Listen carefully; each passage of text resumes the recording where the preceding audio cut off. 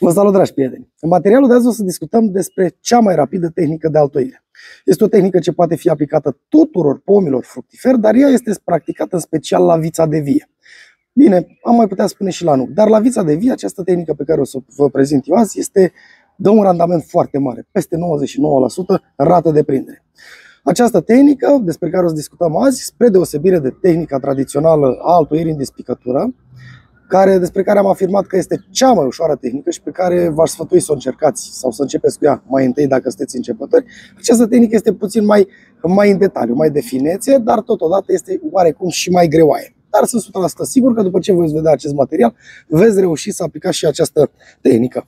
Puteți face, aplica această tehnică atât în câmp, atunci când altoiți un singur individ, da? dar puteți aplica această tehnică și în coronamentul pomului. Mare atenție!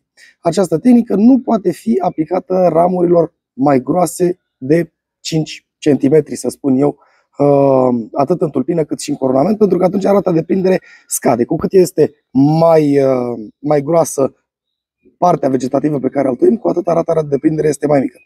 Iar ar fi ideal atunci când atât portaltoiul, ramura în care altuim, cât și altoiul, să fie aproximativ de aceeași dimensiune. Această tehnică se numește altoire în copulație perfecționată sau altoire în copulație semi-perfecționată, dar oricum mai numim tot altoire în copulație este. Da? Și haideți să, să ne apucăm de treabă pentru a vedea exact despre ce este vorba. Iar eu o să altuiesc acest plon, o să pun în el un soi de Stanley. Da? O să urmăresc un internod care l-am și după ce ajung la această zonă, între două internoduri, vin și am două soluții. Prima este să secționez cu foarfeca și după aceea să fac ceea ce o să fac eu imediat, sau mai bine, vă orientați și luați un cuțit sau o lamă care taie foarte bine. Eu altuiesc cu un cuțit de bucătărie. Și multe persoane mi-au spus, băi, dar tu chiar altuiești cu cuțit de bucătărie. Altuiești cu toporul dacă este nevoie. Dacă știi ce ai, ce ai de făcut, îți trebuie o lamă. Orice. Și poți altui. Am bricege, am cuțit, am bricege foarte vechi, dar nu vine acum cu ele. Pur și simplu altuiesc cu ce îmi stă mie la îndemână. Și primul lucru pe care trebuie dumneavoastră să-l faceți, pe spinarea, adică pe partea de sus a ramurii, este să prindeți o zonă între două internoduri și să încercați pe cât posibil cu o singură tăietură să faceți o pană la un unghi cam de 45 de grade, da? Exact cum fac și eu aici. Mare atenție să nu vă răniți, da?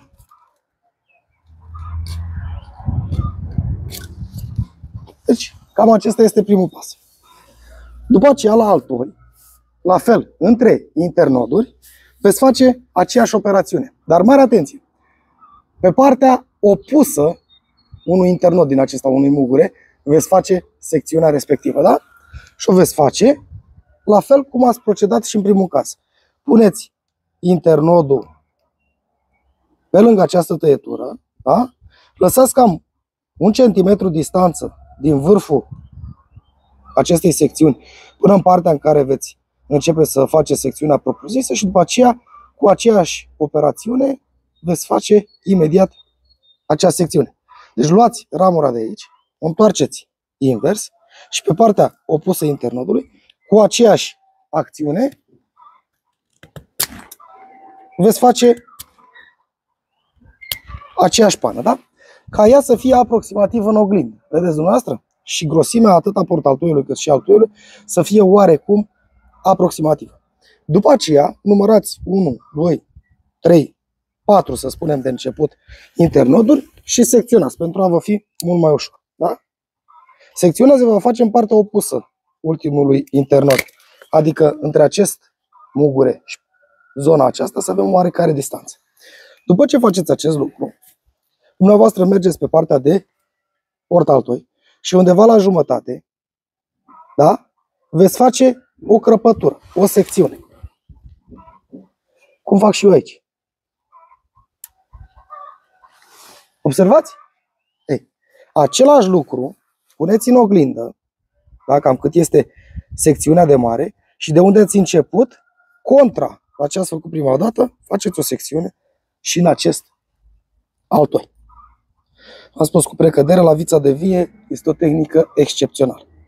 După ce ați făcut acest lucru și le-ați făcut în oglindă, singurul lucru pe care trebuie dumneavoastră să-l faceți este să îmbinați aceste tăieturi, da? Deci aici avem o crăpătură și aici avem o crăpătură și noi nu vom face nimic altceva decât să le îmbinăm.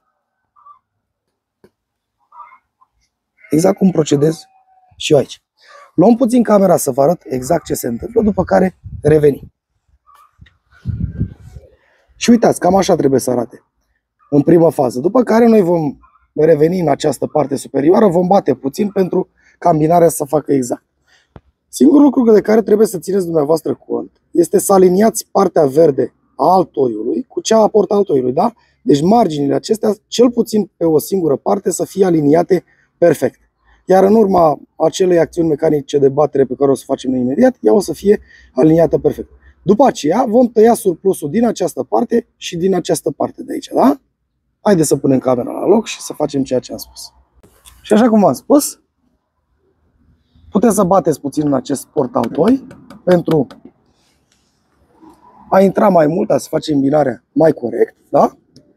Dacă nu puteți face chestia asta și cu o acțiune mecanică, adică prin forțare cu mâna, după care veniți și secționați acest surplus din această parte, exact în zona în care avem prima secțiune.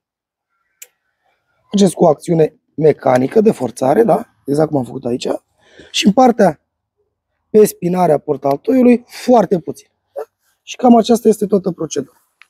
Acum, singurul lucru pe care îl mai aveți de făcut este să dați cu bandă, da? Ei bine, singura diferență între altoirea în despicătură și altoirea în copulație perfecționată este că aici ar trebui și ar fi indicat să dăm ori cu bandă la altoit, ori dacă nu, cu folie alimentară. Folia alimentară este acea folie de la magazin, tăiați-o ca lupuri, așa cum am făcut-o și eu, nu are să vă duceți dați bani pe cine știe ce folii din comerț și bandajați foarte bine, foarte stres. La fel, spre deosebire de tehnica altoirii în despicătură, nu vom aplica niciun fel de mastic, nu vom aplica niciun fel de pământ, pur și simplu bandajăm foarte bine această zonă, da? să fie cât mai strâns.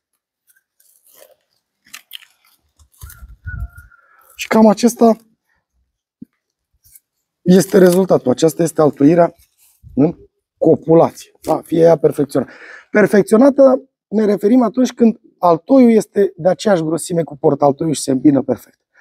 Uh, semiperfecționată este atunci când altoiul este mai subțire decât portaltoiul și alinierea o facem doar pe singură parte, la spațiul acela verde. Da? Pentru că acolo pomul pur și simplu calusează, acolo uh, el își va face acea vindecare. Da? La altoirea în despicătură eu mai acopăr primul mugure, pentru că am observat că dacă la acoperi informația genetică este bună și prinderea este o rată de prindere mai mare, în schimb aici primul mugure nu-l voi acoperi, în schimb voi insista foarte mult cu această bandă, cu această folie, astfel încât izolarea să fie una perfectă. Mergem mai sus față de acest altoi și după aceea puteți faceți un nod, cum credeți dumneavoastră de cuvință, este foarte simplu. Da? Iau unul așa procedez, deși nu este nevoie, pentru că folia în general se va prinde, foarte simplu. Pare că mi-am tăiat unghiile de dimineață ca să prind prea bine. Așa. Vom strânge și acesta este altoiul. În schimb, ați observat că la altoirea în despicătură aici am pus bandă izolatoare. Puteți pune bandă izolatoare. În schimb, eu vă recomand aici, în acest cap, să dați într-adevăr cu un mastic sau cu pământ. Da? Acest mastic îl puteți găsi în orice fitofarmacie. Este pe bază de cupru și ajută oarecum la vindecarea rănilor. Dar noi ce vom face azi va fi să izolăm pur și simplu. Nu-i voie caței mei să izolăm pur și simplu partea de sus. Nu o să dau cu, cu el, el se aplică în acest fel, dar uh, aș murdări foarte tare și îmi place să lucrez puțin mai, mai curat. Da? Și pur și simplu cu acesta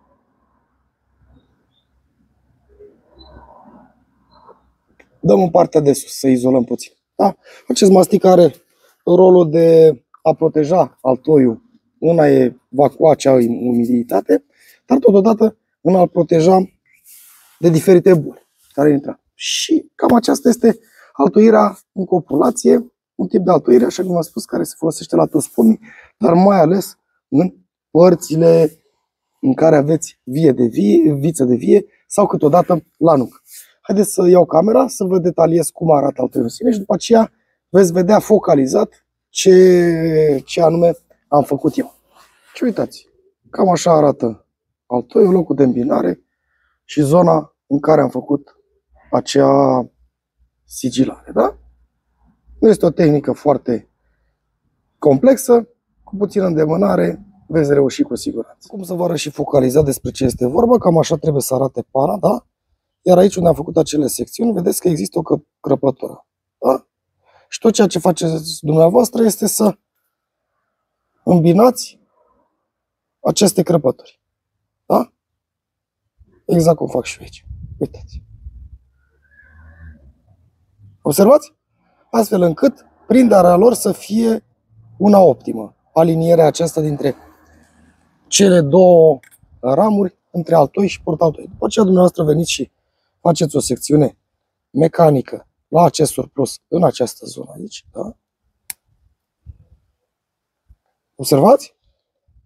Și mai puteți să faceți o secțiune mecanică și în această parte și să eliminați și după partea din spate acest surplus. Uitați. Și cam așa trebuie să arate îmbinare. Cam aceasta este. Aliniamentul acesta trebuie să fie perfect. Da? Perfecționat atunci când și pe o parte și pe cealaltă ele sunt aliniate, parțile cele verzi perfect. Semi-perfecționat este atunci când aliniem doar pe o parte, pentru că portaltoiul este un pic mai gros. Da? Deci, cam acesta este tot secretul. După care venim și bandajăm cu o bandă izolată, cu folie alimentară sau bandă de altoi. Da?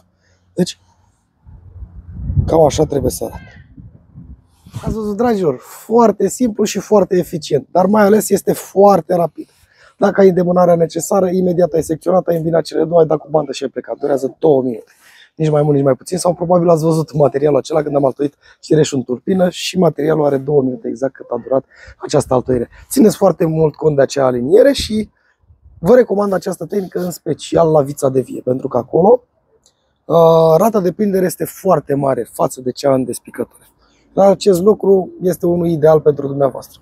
Nu vă trebuie materiale profesionale pentru altui. Așa cum am spus, puteți să altuiți cu topul. Puteți să altuiți cu ce vreți dumneavoastră. Nu vă trebuie niște bricege sau niște cuțite care costă 2-300 de lei, 50 de euro, 100 de euro pe care am văzut pe, pe internet. Luați o lamă, să taie cât de cât și mergeți și faceți această treabă. Trebuie să dați banii pe bandă de altui sau pe cine știe ce altă chestie. Dintr-un sul din acela care costă 4-5 lei de zile, vă faceți bandă de altui sau altuiți o viață întreagă. Am un material pe canalul meu în care vă învăț să faceți și acest lucru. Și tot ceea ce trebuie este ca dumneavoastră să încercați și veți reuși. Așa cum am spus, toți pomii care îi vedeți pe aici pe la mine, unde fac materiale, sunt altoiți de mine, de mici. Și vedeți că a dat randament. Dar este un lucru minunat atunci când încerci să schimbi soiul unui pom, să pui mai multe soiuri. Într-un pom, de exemplu, eu am un măr cu trei soiuri diferite. Este foarte frumos când mergi și ei un măr roșu, un măr galben, un măr verde din el în aceeași perioadă. Da? Și la vița de vie, atunci când aplicați, mai este o tehnică specială, altoiul trebuie ținut în apă, da? dar o să facem un material și despre acest aspect. În speranța că acest videoclip va fi de folos, eu vă doresc toate cele bune și să ne revedem cu bine la următorul material. Vă pup!